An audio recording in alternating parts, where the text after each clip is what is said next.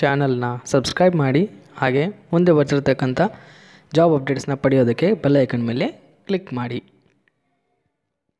ಕರ್ನಾಟಕ ಲೋಕಸೇವಾ ಆಯೋಗದಲ್ಲಿ ನಡೀತಿರ್ತಕ್ಕಂಥ ರಿಕ್ರೂಟ್ಮೆಂಟ್ಗಳ ಬಗ್ಗೆ ಈ ಒಂದು ವಿಡಿಯೋದಲ್ಲಿ ನಿಮಗೆ ಮಾಹಿತಿಯನ್ನು ನೀಡ್ತಾ ಇದ್ದೀವಿ. ಇಲ್ಲಿ ಎಫ್ ಡಿ ಎ ಅಂತಂದ್ರೆ ಫಸ್ಟ್ ಡಿವಿಷನ್ ಅಸಿಸ್ಟೆಂಟ್ ಅವರಿಗೆ ಎರಡ್ನೂರ ಹತ್ತೊಂಬತ್ತು ಹುದ್ದೆಗಳು ಖಾಲಿ ಇದ್ದು ಅವುಗಳನ್ನ ರಿಕ್ರೂಟ್ ಮಾಡ್ಕೋತಾ ಇದ್ದಾರೆ. ಹಾಗೆ S D A second division assistant ಅವರಿಗೆ ನಾಲ್ಕುನೂರ ತೊಂಬತ್ನಾಲ್ಕು ಹುದ್ದೆಗಳಿಗೆ ರಿಕ್ರೂಟ್ಮೆಂಟ್ ಮಾಡ್ಕೋತಾ ಇದ್ದಾರೆ. ಬನ್ನಿ ಇದರ ಬಗ್ಗೆ ಹೆಚ್ಚಿನ ಮಾಹಿತಿಯನ್ನು ನೋಡೋಣ.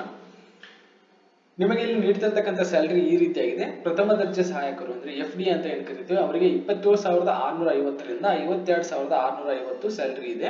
ಹಾಗೆ ದ್ವಿತೀಯ ದರ್ಜೆ ಸಹಾಯಕರು ಎಸ್ ಡಿ ಎ ಅವರಿಗೆ ಇಪ್ಪತ್ತೊಂದು ಸಾವಿರದ ನಾಲ್ಕುನೂರಿಂದ ನಲವತ್ತೆರಡು ಸಾವಿರ ಪ್ರತಿ ತಿಂಗಳ ಸ್ಯಾಲರಿ ಇದೆ. ಹಾಗೆ ವಯೋಮಿತಿ ಏಜ್ ಲಿಮಿಟ್ ಅಂತ ಹೇಳ್ಬಿಟ್ಟು ಆಸ್ ಪರ್ ಗೌರ್ಮೆಂಟ್ ರೂಲ್ಸ್ ನಿಮಗೆ ಹದಿನೆಂಟು ವರ್ಷ ಆಗಿರ್ತಕ್ಕದ್ದು.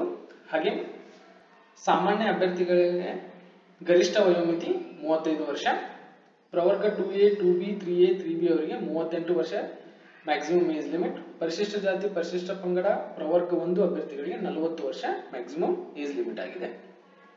ಇನ್ನು ಶೈಕ್ಷಣಿಕ ವಿದ್ಯಾರ್ಹತೆ, ಅಂದ್ರೆ ಎಜುಕೇಶನಲ್ ಕ್ವಾಲಿಫಿಕೇಶನ್ ಬಂದ್ಬಿಟ್ಟು ನೀವು ಪ್ರಥಮ ದರ್ಜೆ ಸಹಾಯಕರು, ಅಂದ್ರೆ ಎಫ್ ಡಿಗೆ ಅಪ್ಲಿಕೇಶನ್ ಹಾಕ್ಬೇಕಂತ ಇರೋರು ಪದವಿ ಪರೀಕ್ಷೆಯಲ್ಲಿ ತೇರ್ಗಡೆಯಾಗಿರಬೇಕು, ಅಂದ್ರೆ ಡಿಗ್ರಿಯನ್ನು ಹೊಂದಿರಬೇಕು. ಮತ್ತೆ ಇನ್ನು ದ್ವಿತೀಯ ದರ್ಜೆ ಸಹಾಯಕರ ಹುದ್ದೆಗಳಿಗೆ ಅಪ್ಲಿಕೇಶನ್ ಹಾಕಬೇಕು ಅನ್ನೋರು, ನೀವು ಪದವಿ ಪೂರ್ವ ಶಿಕ್ಷಣ ಮಂಡಳಿ ನಡೆಸುವಂತ ಪಿ ಯು ಸಿ ಅಂತಂದ್ರೆ ಟ್ವೆಲ್ತ್ ಸ್ಟ್ಯಾಂಡರ್ಡ್ ಪಾಸ್ ಆಗಿರತಕ್ಕದ್ದು ಅಥವಾ ತತ್ಸಮಾನ ವಿದ್ಯಾರ್ಹತೆ ಹೊಂದಿರಬೇಕು. ತತ್ಸಮಾನ ವಿದ್ಯಾರ್ಥಿಗಳು ಅಂತಂದ್ರೆ ಈ ರೀತಿಯಾಗಿ ಕೊಟ್ಟಿದ್ದಾರೆ. ಸಿಬಿಎಸ್ಇ ಮತ್ತು ಐಎಸ್ಸಿ ಮಂಡಳಿಗೆ ನಡೆಸುವ ಹನ್ನೆರಡನೇ ತರಗತಿ ಪಾಸ್ ಆಗಿರತಕ್ಕದ್ದು ಇಲ್ಲಾಂದ್ರೆ ಇತರೆ ರಾಜ್ಯ ಸರ್ಕಾರದ ಪರೀಕ್ಷಾ ಮಂಡಳಿಯಿಂದ ನಡೆಸುವ ಹನ್ನೆರಡನೇ ತರಗತಿ ಪಾಸ್ ಆಗಿರತಕ್ಕದ್ದು ಅದು ಇಲ್ಲ ಅಂತಂದ್ರೆ ನ್ಯಾಷನಲ್ ಇನ್ಸ್ಟಿಟ್ಯೂಟ್ ಆಫ್ ಓಪನ್ ಸ್ಕೂಲಿಂಗ್ನಲ್ಲಿ ಎನ್ ಐ ಒ ಎಸ್ ವತಿಯಿಂದ ನಡೆಸುವ ಉನ್ನತ ಪ್ರೌಢ ಶಿಕ್ಷಣ ಕೋರ್ಸ್, ಎಚ್ ಎಸ್ ಪಾಸ್ ಆಗಿರತಕ್ಕದ್ದು ಮತ್ತೆ J O C O D C, J L D C ನೀವು ಪಾಸ್ ಆಗಿರತಕ್ಕದ್ದು ಅದಿಲ್ಲ ಅಂದ್ರೆ ಮೂರು ವರ್ಷಗಳ ಡಿಪ್ಲೊಮಾ ಕೋರ್ಸ್ ಅನ್ನು ನೀವು ಮಾಡಿರಬೇಕಾಗಿರುತ್ತೆ. ಮತ್ತೆ ನೇಮಕಾತಿ ವಿಧಾನ ಈ ರೀತಿಯಾಗಿದೆ. ಇಲ್ಲಿ ಸ್ಪರ್ಧಾತ್ಮಕ ಪರೀಕ್ಷೆಗಳ ಮೂಲಕ ನಿಮ್ಮನ್ನು ನೇಮಕಾತಿ ಮಾಡ್ತಾ ಇದ್ದು ಇಲ್ಲಿ ನಿಮಗೆ ಒಟ್ಟು ಮೂರು ಪೇಪರ್ಗಳಿದೆ. ಆ ಮೂರು ಪೇಪರ್ಗಳನ್ನ paper one, paper two, paper three ಅಂತ ವಿಂಗಡಣೆ ಮಾಡಲಾಗಿದೆ. ಪೇಪರ್ ಒನ್ನಲ್ಲಿ ಕನ್ನಡ ಕಡ್ಡಾಯ ಪರೀಕ್ಷೆ ಆಗಿದ್ದು, ಇದಕ್ಕೆ ಒಂದು ನೂರ ಐವತ್ತು ಮಾರ್ಕ್ಸ್ಗಳಿವೆ ಪರೀಕ್ಷಾ ಅವಧಿ ಬಂದ್ಬಿಟ್ಟು ಒನ್ ಅಂಡ್ ಹಾಫ್ ಅವರ್ ಮತ್ತೆ ಇದನ್ನ ಡಿಸ್ಕ್ರಿಪ್ಟಿವ್ ಟೈಪ್ ಅಲ್ಲಿ ನೀವು ಬರೀಬೇಕಾಗುತ್ತೆ. ಅಂದ್ರೆ ನೀವು ರೆಗ್ಯುಲರ್ ಆಗಿ ಯಾವ ರೀತಿಯಾಗಿ ಎಕ್ಸಾಮ್ಸ್ನ ಬರೀತೀರಾ ಲೆಂದಿಯಾಗಿ ಪ್ಯಾರಾಗ್ರಾಫ್ಸ್ ವೈಸ್ ಆ ಟೈಪ್ ಡಿಸ್ಕ್ರಿಪ್ಟಿವ್ ಟೈಸ್ ಟೈಪ್ ಬರೀಬೇಕಾಗುತ್ತೆ. ಇಲ್ಲಿ ಆಬ್ಜೆಕ್ಟಿವ್ ಟೈಪ್ ಇಲ್ಲ ಒಂದನೇ ಪರೀಕ್ಷೆಗೆ. ಎರಡನೇ ಪರೀಕ್ಷೆ ಸಾಮಾನ್ಯ ಕನ್ನಡ ಅಥವಾ ಸಾಮಾನ್ಯ ಇಂಗ್ಲಿಷ್ ಅಂತ ಹೇಳ್ಬಿಟ್ಟು ಇದಕ್ಕೆ ಒಂದು ನೂರು ಮಾರ್ಕ್ಸ್ಗಳು. ಇದು ಪರೀಕ್ಷಾ ಅವಧಿ ಒನ್ ಅಂಡ್ ಹಾಫ್ ಅವರ್ ಇಲ್ಲಿ ನಿಮಗೆ ಮಲ್ಟಿಪಲ್ ಚಾಯ್ಸ್ ಕ್ವಶನ್ಸ್ ಕೊಡ್ತಾರೆ. ಮೂರನೇ ಪರೀಕ್ಷೆ ಸಾಮಾನ್ಯ ಜ್ಞಾನ ಒಂದು ನೂರು ಮಾರ್ಕ್ಸ್ಗಳಿತ್ತು. ಇದು ಪರೀಕ್ಷಾ ಅವಧಿ ಒನ್ ಅಂಡ್ ಹಾಫ್ ಅವರ್ ಇಲ್ಲಿ ನಿಮಗೆ ಮಲ್ಟಿಪಲ್ ಚಾಯ್ಸ್ ಕ್ವಶನ್ಸ್ನ ಕೊಟ್ಟಿರ್ತಾರೆ. ಮತ್ತೆ ಶುಲ್ಕದ ಬಗ್ಗೆ ನೋಡೋದಾದ್ರೆ ಎಕ್ಸಾಮಿನೇಷನ್ ಫೀಸು ಸಾಮಾನ್ಯ ಅಭ್ಯರ್ಥಿಗಳಿಗೆ ಆರುನೂರು ರೂಪಾಯಿಗಳು, ಪ್ರವರ್ಗ two A two B three A three B ಅವರಿಗೆ ಮೂರುನೂರು ರೂಪಾಯಿಗಳು. ಮಾಜಿ ಸೈನಿಕ ಅಭ್ಯರ್ಥಿಗಳಿಗೆ, ಅಂದರೆ ಸಾಮಾನ್ಯ ಅರ್ಹತೆ ಮತ್ತು ಪ್ರವರ್ಗ two A two B three A three B ಅಲ್ಲಿ ಬರುವವರಿಗೆ ಐವತ್ತು ರೂಪಾಯಿಗಳು.